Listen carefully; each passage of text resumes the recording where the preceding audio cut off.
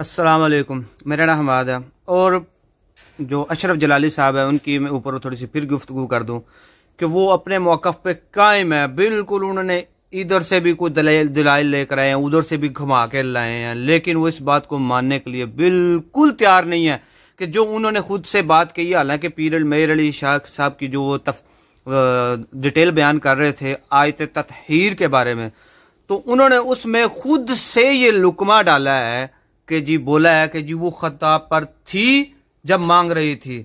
جب مانگ رہی تھی، خطاب پر تھی۔ تو آپ مزید پہلے ان کا وہ والا کلپ سنیں۔ ادھر میں چلاتا ہوں، اوپر پہلے وہ سنیں۔ پھر اس کے بعد انہوں نے جو بعد میں اس کا موقف دیا وہ بھی میں دیتا ہوں۔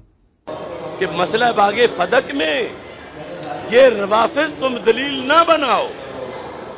کہ معصوم تھی تو مانگنا ہی حق کی دلیل ہے۔ پرانی خطا کا امکان تھا اور خطا پر تھی جب مانگ رہی تھی خطا پر تھی تو دیکھ، آپ نے سنا کہ جو انہوں نے الفاظ بولے ہیں، انہوں نے سارے الفاظ اپنے خود سے بولے ہیں۔ اس میں ایک الفاظ بھی نہ پیر میر علی شاہ صاحب کا ہے اور نہ ہی یہ کسی اہل سنت کی کتب سطح کی حدیث میں کتاب میں یہ لکھا ہے کہ وہ جب مانگ رہی تھی تو خطا پر تھی اور مانگنا خطا تھا۔ اور اس کے بعد انہوں نے آگے الفاظ بولے ہیں کہ وہ جب ان کو حدیث سنائے گی تو سر خم تسلیم کر گئی، تو یہ سراسر انہوں نے اپنا لکمہ ڈالا ہے۔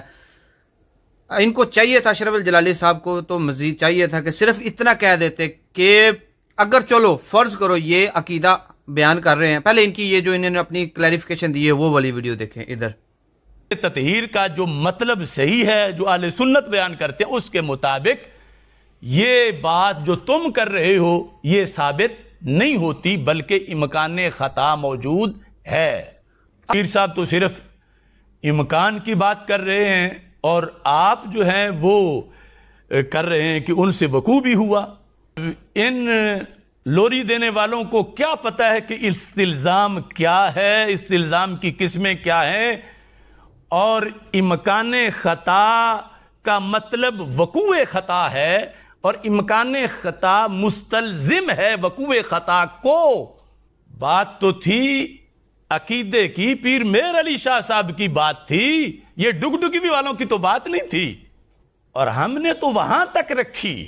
اور ان خائن لوگوں نے یعنی وہ مقدس علمی گفتگو عوام کو اپنے انداز میں سمجھ جانے میں کنویں کو مینار اور مینار کو کنواں بنا کر پیش کیا۔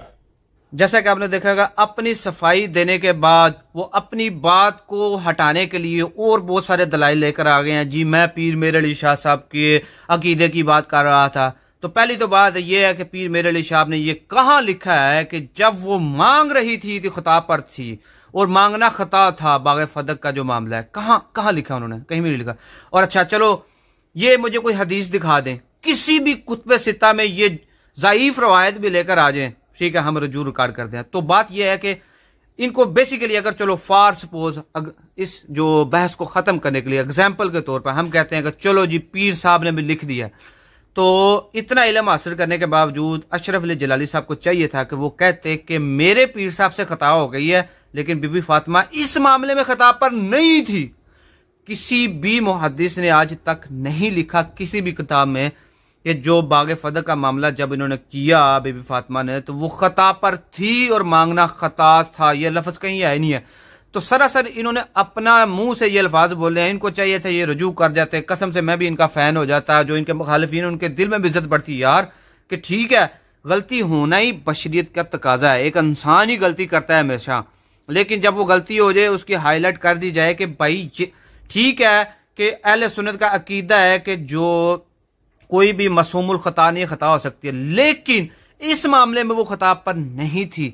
نہ ہم کہتے ہیں کہ ابو بکر صدیق میرا وہی موقف ہے جو مولانا ساک رحمۃ اللہ علیہ کا ہے کہ باغ فدق کا معاملہ جب کیا بی بی فاطمہ نے تو وہ خطا پر نہیں تھی۔ ٹھیک ہے؟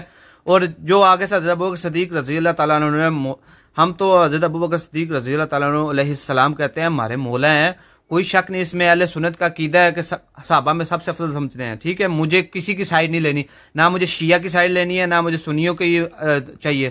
جو موقف بنتا ہے، وہ دے رہا ہوں کہ یہاں پہ آ کے جلالی صاحب کو چاہیے تھا کہ یہ کہتے اگر میرے پیر میر علی شاہ صاحب نے لکھا ہے تو ان کو کہتے ہیں کہ وہ خطا پر تھے، بی بی فاطمہ اس معاملے میں خطا پر نہیں تھی۔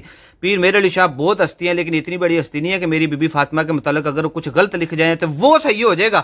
پیر جو ہے وہ خطاب پر نہیں ہو سکتا، لیکن بی بی فاطمہ خطاب پر ہو سکتی ہے۔ اب یہ تو کوئی انصاف نہیں ہے۔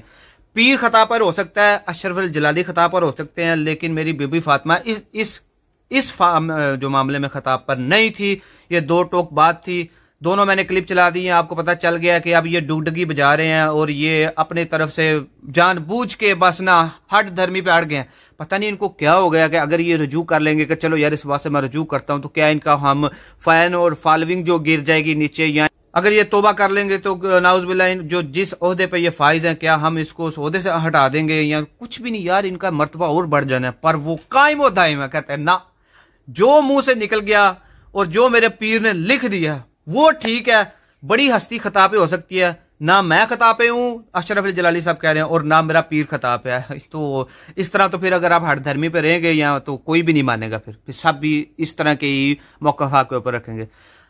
مہربانی کر کے آپ رجوع کر دیں اس بات سے۔ چھوڑ دیں، بھٹے ہی نہیں ہے آپ کا جو مرتبہ ہے اور بڑا ہو جائے گا کہ یار انسان ہونے کی دلیل ہے، انسان سے خطا ہو سکتی ہے۔